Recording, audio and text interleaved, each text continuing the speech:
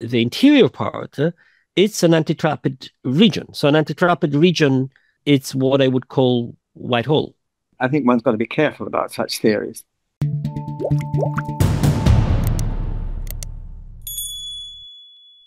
Are white holes real or just mathematical fantasies? Carlo, you're up first.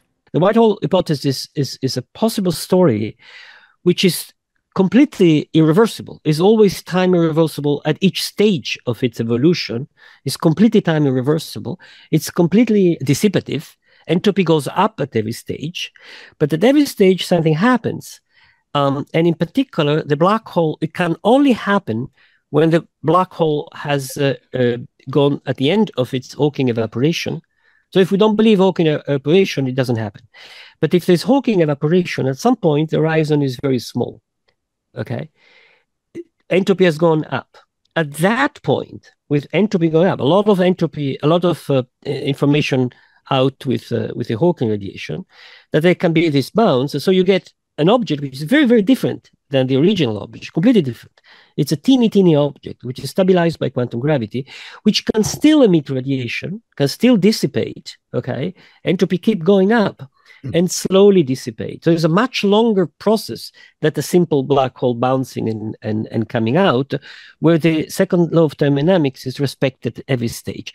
That what they put, well, that's what the black hole is, a, a white hole hypothesis is. The point is that when a black hole becomes small, the area goes down, down, down. But if it is hmm. quantized, as loop quantum gravity predicts, you have a gap between zero and the minimal one. And the thing is going to sit there for long because inside is very large. So we have a quantum gravity prediction of, of an object at the Planck mass.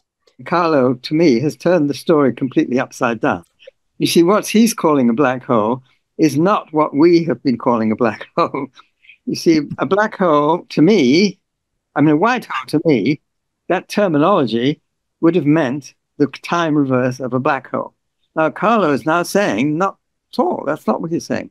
He's saying that when you have this Hawking evaporation, which I agree should be happening very late in the universe, um, when the, as I say, when the temperature of the uh, background temperature of the universe gets smaller than even these huge black holes that we expect in the late universe, and it takes a long, long time, something like 10 to the power 100 years.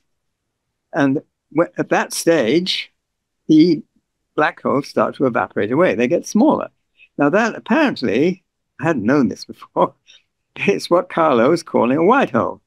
Now, that's not the picture that I think that either I or Lisa was saying a minute ago. We, we have the picture terminology which I would have thought applied would have been a white hole it was the time reverse of a black hole. That's not what Carlo was saying. He's saying something completely different. Named yeah. Carlo, are you saying something completely different? Yeah, Roger is right. That's what I've said. I mean, it's this white hole is uh, has to be taken. The interior of this thing is, uh, I mean, at the end of the evaporation, you can choose a foliation that maximizes volume, uh, and then you can say that uh, when the in this foliation there's a well-defined notion of volume, interior volume, uh, sort of uh, covariantly defined. And when the, the, the, the, the black hole shrinks, the interior is still large. It's still large, sort of very long tube, so to say, that foliation. Uh, it's a very large volume. So the, the quantum transition that we compute with loop quantum gravity is into a geometry in which the, the throat is very, very small, it's a Planckian. The, the interior part it's an antitrapped region. So an antitrapped region, it's what I would call white hole. I mean, often uh, you may have ideas which simplify the way of looking at it, mathematical way you look, look at it, or something like that, which may not be directly um, observational. It may just be helpful to understand the picture as a whole. So I don't think making, you know, observa- observational predictions is an absolute criterion and that we shouldn't look at a theory which really doesn't make any such predictions. But on the other hand, I think one's got to be careful about such theories. Um, there are a lot of them.